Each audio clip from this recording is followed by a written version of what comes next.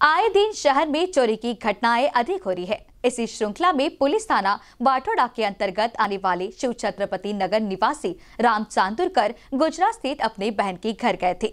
इसी का लाभ उठाते हुए अज्ञात चोरों ने एक लाख इकतालीस हज़ार पाँच सौ पचास रूपए के माल पर हाथ साफ़ कर दिया।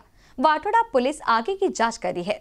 शहर में चोरी की वारदातें तेज़ी से बढ़ रही है। पुलिस थाना बाठोड़ा के अंतर्गत आने वाले प्लॉट नंबर एक शिव छत्रपति नगर, नागपुर में रहने वाले फिरियादी राम वसंत राव चांदुरकर, ये अपने परिवार के साथ मकान को ताला लगाकर बड़ौदा गुजरात निवासी अपने बहन के घर दीपावली त्योहार के लिए गए थे। इसी का लाभ उठाते हुए अज्ञात चोरों ने मकान का ताला तोड़कर भीतर प्रवेश करते हुए दो लोहे के अलमारी में से बीस हज़ार नकद और सोने चांदी के जेवरात पर हाथ साफ़ कर दिया। तकरीबन एक लाख इकतालीस हज़ार पाँच सौ पचास रूपए होने की जानकारी सूत्रों ने दी है। नागपुर आने पर फिरियादी इन्होंने वाठोड़ा पुलिस थाने में जाकर इस घटना की शिकायत दर्ज कराई।